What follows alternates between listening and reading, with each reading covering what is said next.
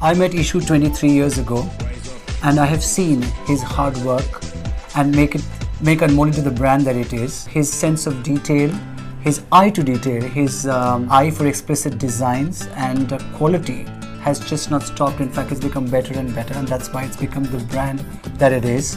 So when it comes to jewelry, for me, if there is a brand, it's Anmol. And uh, cheers to the 25 years. I'm very sure many, many fantastic years ahead.